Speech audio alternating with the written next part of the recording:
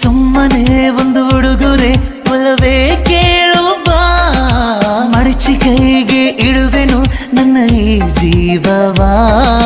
मौका मिलेगा तो हम बता देंगे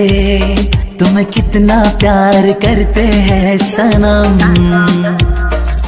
तू है पागल तू है जोकर तू है दिल भर जानी